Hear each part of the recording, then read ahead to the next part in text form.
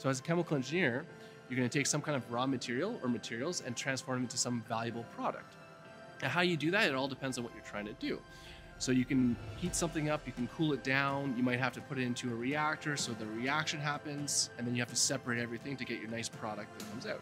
What are these products? Well, they can be anything really. They can be the shirt that I'm wearing, it could be uh, the food that you're eating, it could be some kind of plastic.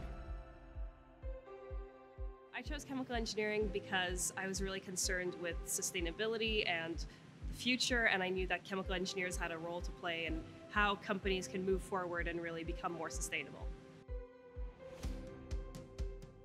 What I like about my program is the fact that we get to work a lot in teams and really use each other's strengths and weaknesses to make something substantial and use problem solving skills that can be useful for co op opportunities or employment opportunities, on top of the fact that it's a very diverse field and I feel like it's a good merger between science and engineering where you get to either go into research or into industry if whichever one is preferable to you.